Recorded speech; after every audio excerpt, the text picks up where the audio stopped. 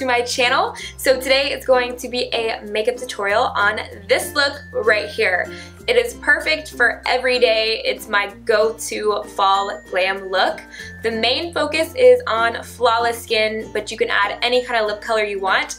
I decided to go with a dark red because I love wearing darker colors for fall. I have teamed up with Smashbox for this video, which I was super excited about. I really hope you guys enjoy the tutorial. I tried to use a lot of drugstore and affordable products, and then I'm also showing you the new Smashbox BB water, which is amazing. I'll link everything down below in the description bar. I really hope you enjoy, and if you want to see how I got this look, then just keep watching. Since this look focuses on the skin, we're to be starting here. I'm using the Smashbox BB water in the shade Light Medium with my Beauty Blender.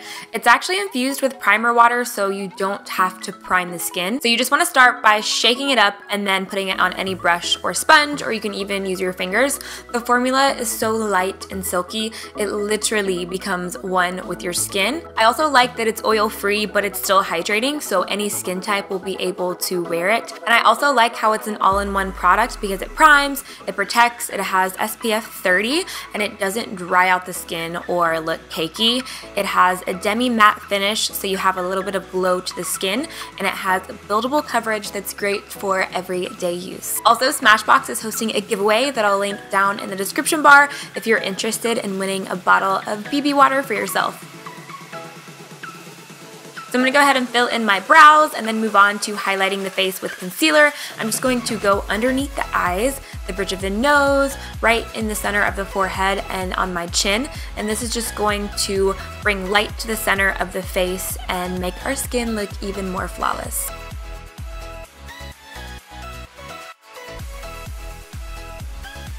I'm also going to bring some of the concealer on my eyelids to serve as an eyelid base. I'm using the LA Girl Pro Conceal and it's really good about not creasing, so it's perfect for this. Now I'm just going to take a little bit of setting powder to set the concealer underneath my eyes and also anywhere I tend to get a little bit oily throughout the day. This is just going to help set everything to make sure that it doesn't go anywhere and then it lasts a little bit longer. Now I'm taking the Smashbox Shape Matters palette and I'm going to take the lightest contour shade just to contour my eyes a little bit. I'm just taking it on a fluffy brush back and forth in the crease just to add a little bit of natural definition. And this is the only thing I'm going to be doing to the eyes that literally only takes a few seconds just to add a little bit more depth to the eye look. And then I'm going to move on to mascara. And you can leave it at mascara if you want, if you're in a rush or you don't like to wear false lashes.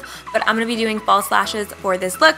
So I'm taking Velour lashes in the city and I'm just going to apply these for, you know, that little extra oomph. So I'm going to go back to that light contour shade I used on the eyelid and I'm going to apply this on the lower lash line with a pencil brush, just smudging and smoking out that lower lash line a little bit. I love this color because it's a taupey light brown and it just gives you that really kind of effortless look.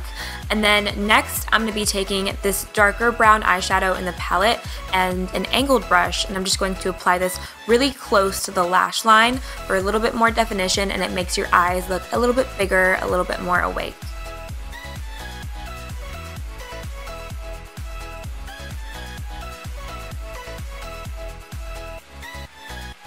So now I'm going to contour the face a little bit. I don't want too much going on in the skin. I still want it very natural. I'm taking that light contour shade. Once again, I'm using that all over the face today. And that's one thing you can always do. You can always use a contour or any kind of bronzers for eyeshadows.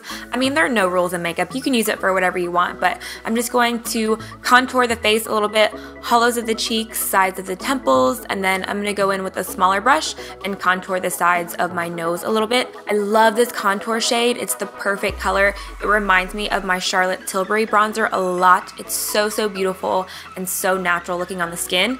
And then I'm going to take a little bit of the warmer contour shade and go right above where I contoured just to add a little bit more color and a little bit more dimension.